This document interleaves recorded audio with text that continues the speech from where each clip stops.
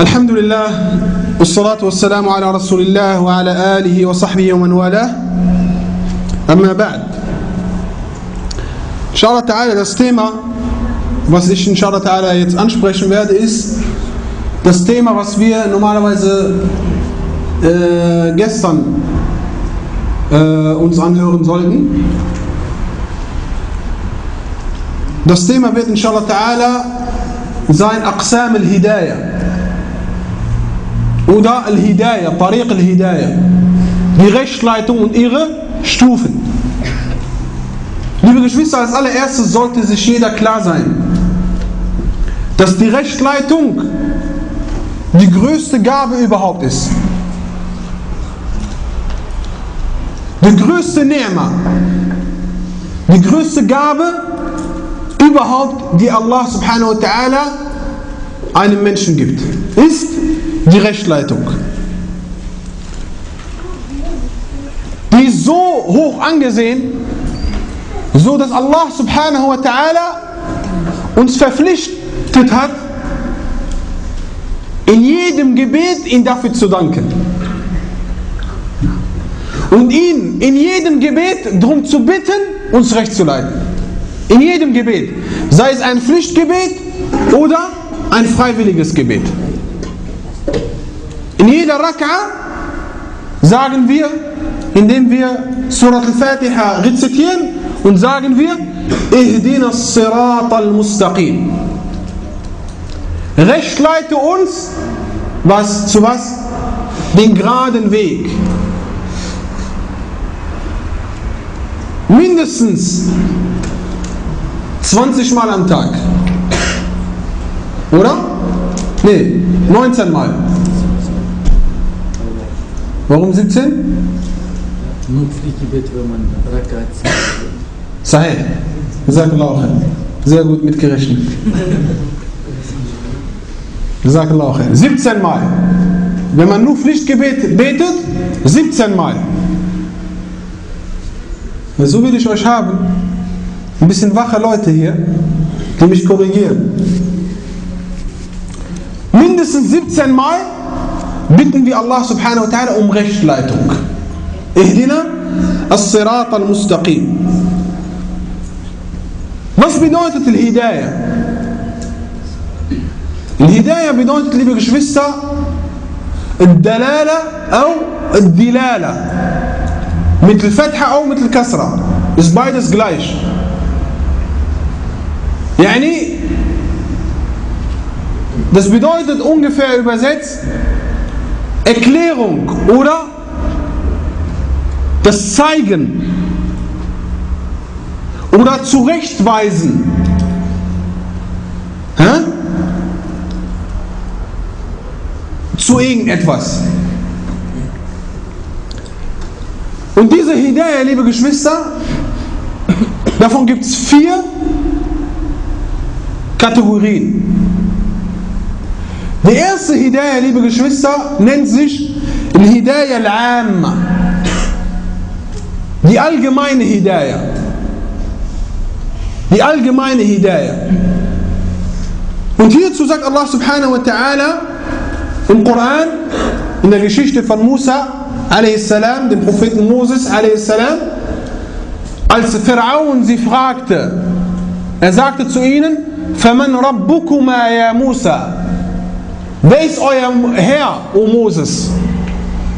Und dann sagte Musa a.s., قال ربنا الذي أعطى كل شيء خلقه ثم هدى قال ربنا unser Herr ist wer? Der alles gegeben hat. أعطى كل شيء خلقه der alles seinen Schöpfungen gegeben hat oder alles erschuf, sinngemäß übersetzt, Thumma hada und es dann zurechtgewiesen hat oder recht geleitet hat. Damit ist gemeint, liebe Geschwister, diese Hidayah al-Amma, diese allgemeine Hidayah. Was bedeutet das? Das bedeutet, dass Allah subhanahu wa ta'ala, der Allmächtige subhanahu, der Erhabene subhanahu wa ta'ala, er ist es, der alles erschuf, der alles erschaffen hat, in seiner vollkommenen Gestalt und auf vollkommenste Art und Weise und ist dann zu seiner richtigen und dazu und dafür geschaffenen Aufgabe hingewiesen hat und recht geleitet hat. Beispiel. Auge.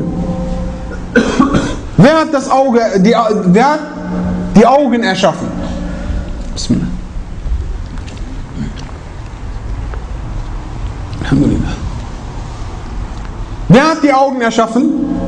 Allah subhanahu wa ta'ala. Wie hat er sie erschaffen? In bester Art und Weise. In vollkommenster Art und Weise. So seht ihr, dass die, äh, das Auge hier in dem äh, zwischen, zwischen Knochen ist. Ja, nicht geschützt hier drin.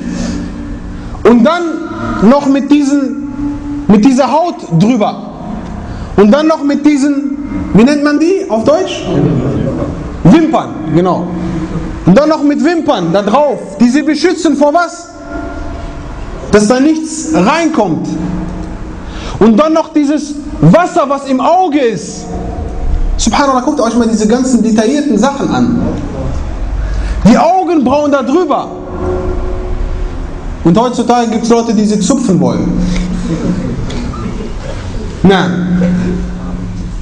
All diese kompletten und auf das kleinste Detail erschaffenen Sachen hat Allah subhanahu wa ta'ala so erschaffen, auf vollkommenste Art und Weise, damit diese Aufgabe und sie dann dazu recht geleitet, um eine Aufgabe zu erfüllen. Welche ist diese Aufgabe? Zu sehen. Subhanallah. Nächstes Beispiel. Ohren. Guckt euch mal diese Form an. Aus was sie geformt wurden. Und dass auch das Wasser, was dieses salzige Zeug, was drin ist, hä? Ohrenschmalz, alles hat äh, eine Aufgabe. Die Nase, die kleinen Haare in der Nase und, und, und. Der, der Mund,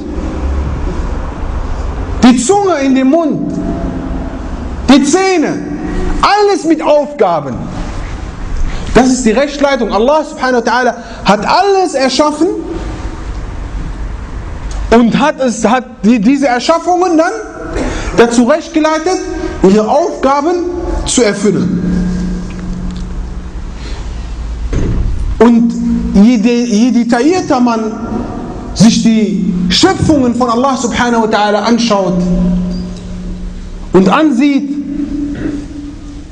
kommt man dann zu dem Entschluss, dass derjenige, der dies erschaffen hat,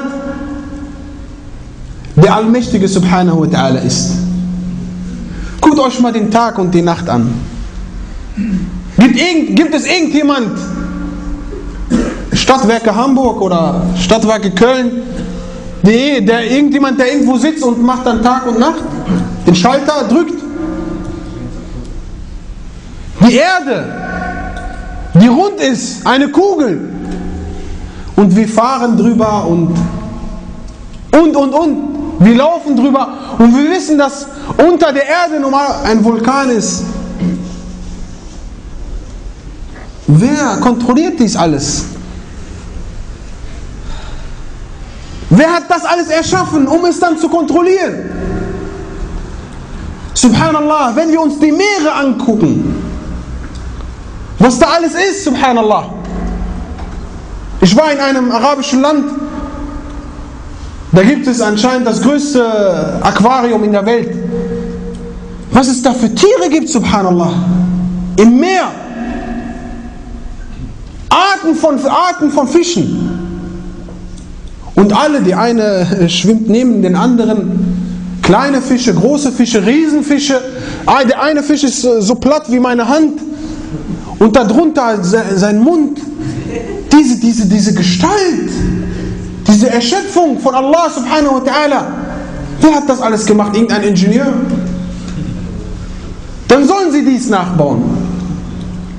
Oder nachmachen.